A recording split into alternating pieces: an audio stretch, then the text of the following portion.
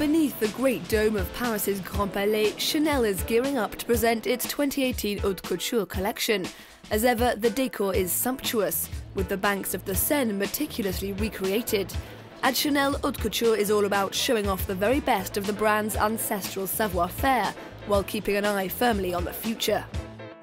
We've got just 20 minutes to make a strong impression around the world. Nowadays, it's mainly other people commenting on what you're doing. 99% of what's said about Chanel is said by other people. So these people need to be shown something amazing. They need to be both seduced and thrilled by what we're doing. But in order to be able to do that, you need the most important thing, the thing that really counts. You need a strong collection, one that makes sense and which communicates the values of the brand. The starting point for any Chanel collection is Karl Lagerfeld's sketches. He'll then discuss them with the label's workshop director Olivier Douchet, who translates them into finished products with the help of her team.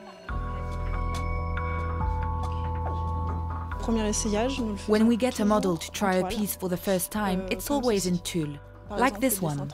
For example, drawing number 34 corresponds to this piece. We create drawings, but we don't necessarily decide on the embroidery or even the fabric, it depends. It's at the first try stage that we choose both the embroidery and the fabric. We also sometimes choose the lining, and we discuss certain details that may appear on a number of elements of the collection. Lagerfeld's collections always take a simple idea as their starting point, this time round, it's the not so humble zip. You know, you can close the sleeves, you can open them, you can open the skirt, and the leg is much more beautiful in profile.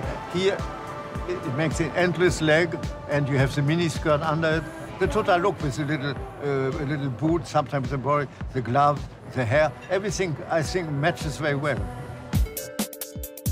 Haute couture would be impossible without the artistic expertise of Paris's specialist workshops, a savoir-faire on full display amongst the paving stones, love locks and sunsets of Lagerfeld's miniature Paris. Innovation is also king. One new fabric on show is comprised of sheets of aluminium caught between two layers of lace.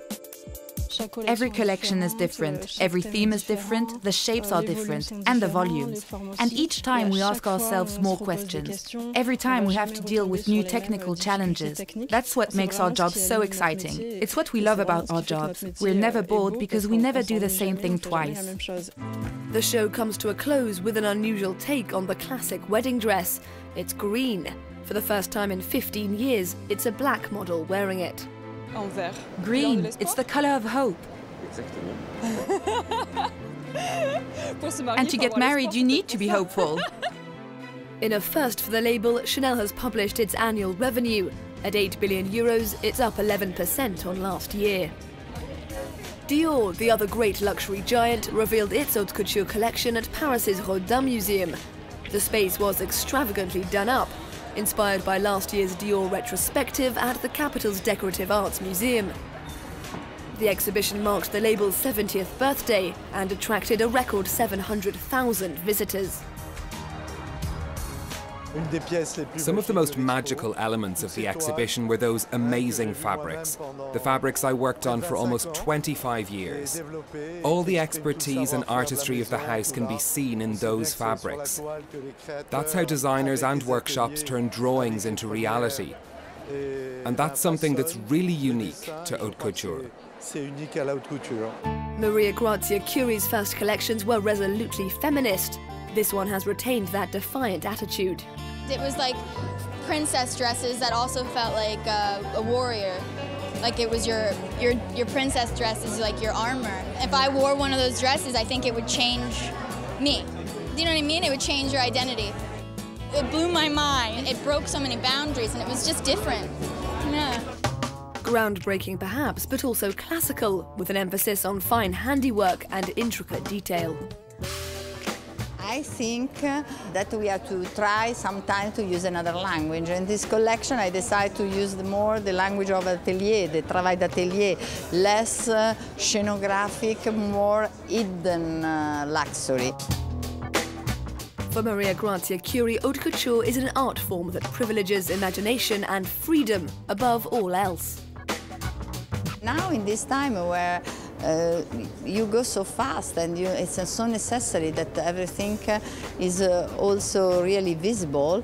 In, uh, you, in couture you can do what you want because your audience know what I mean couture. So you are really free because uh, they don't come because they see a picture. They come because they know what I mean couture.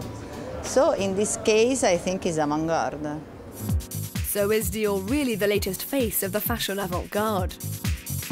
Um, yes and no. I mean, I think what this show, what this just showed us is that it, there's avant-garde in there, but there's also a kind of um, a kind of realism.